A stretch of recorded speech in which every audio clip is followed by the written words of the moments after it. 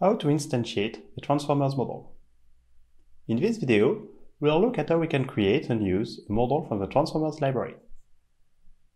As we have seen before, the TF AutoModel class allows you to instantiate a pre-trained model from any checkpoint on the Face hub.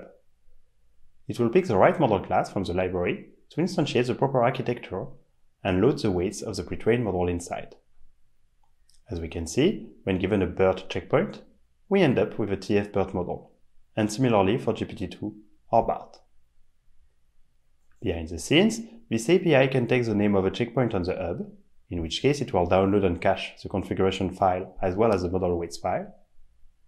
You can also specify the path to a local folder that contains a valid configuration file and a model weights file.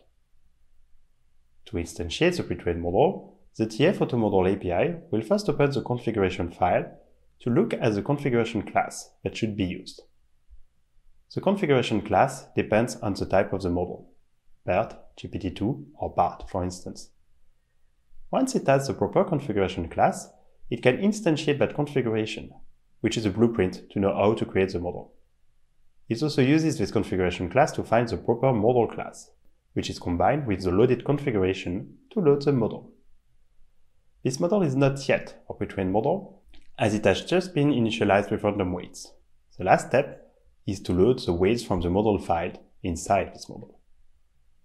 To easily load the configuration of a model from any checkpoint or a folder containing the configuration file, we can use the AutoConfig class.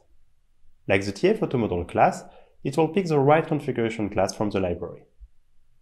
We can also use the specific class corresponding to a checkpoint but we will need to change the code each time we want to try a different model architecture.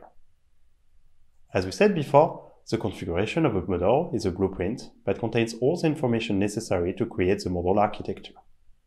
For instance, the BERT model associated with the BERT base cased checkpoint has 12 layers, a hidden size of 768, and a vocabulary size of 28,996. Once we have the configuration, we can create a model that has the same architecture as our checkpoint, but is randomly initialized. We can then train it from scratch, like any TensorFlow model. We can also change any part of the configuration by using keyword arguments.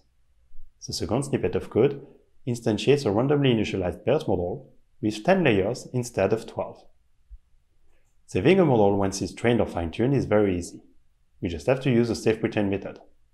Here, the model will be saved in a folder named MyBERTModel inside the current working directory. Such a model can then be reloaded using the from_pretrained method. To learn how to upload this model to the hub, check out the Push to Hub video